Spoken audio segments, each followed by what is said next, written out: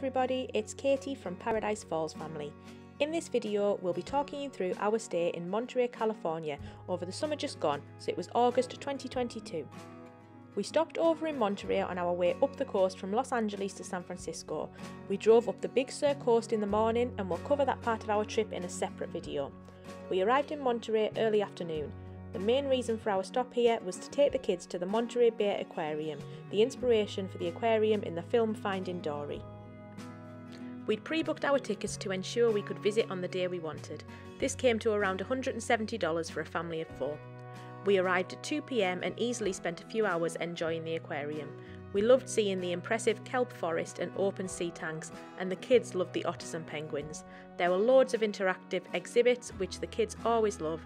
We spent ages at the touch pool playing with the stingrays. We also spent time outside at the tide pool where we could see otters playing in the ocean.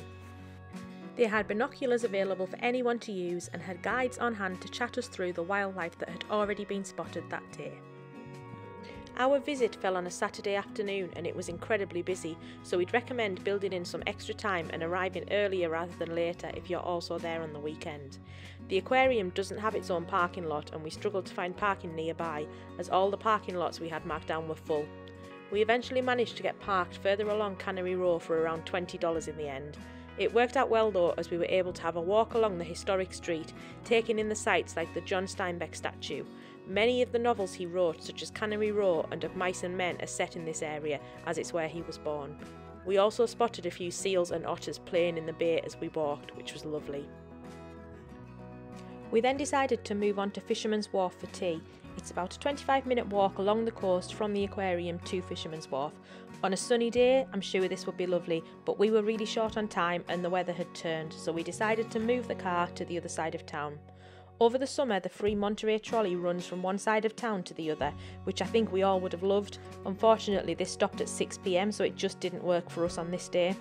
We were able to easily find a multi story car park right by the wharf for just a few dollars, so we parked up and had tea there. I have to say this was the highlight of our day as we discovered hundreds of sea lions resident at the wharf, far more than we were expecting to see. The kids absolutely loved watching them play in the marina. It's impossible to describe the noise, we literally followed it to see what the racket was. Check out the spectacular sight we were greeted with for yourselves with this video clip.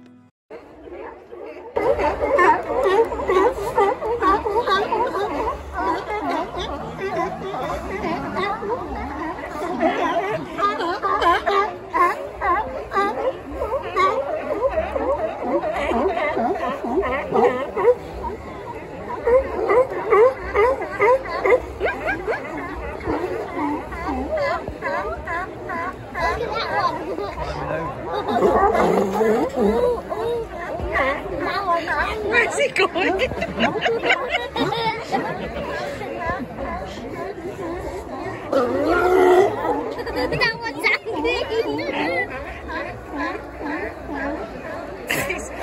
The wharf itself had all the usual shops and restaurants, and we ate at the Rockfish Harbour Grill at the end of the pier, somewhere we definitely recommend.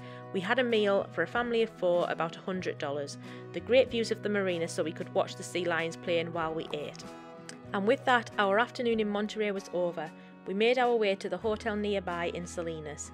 We'd have loved to spend more time in Monterey and it's definitely somewhere we'd like to go back to. In particular, we'd love to stay at the Intercontinental on Cannery Row.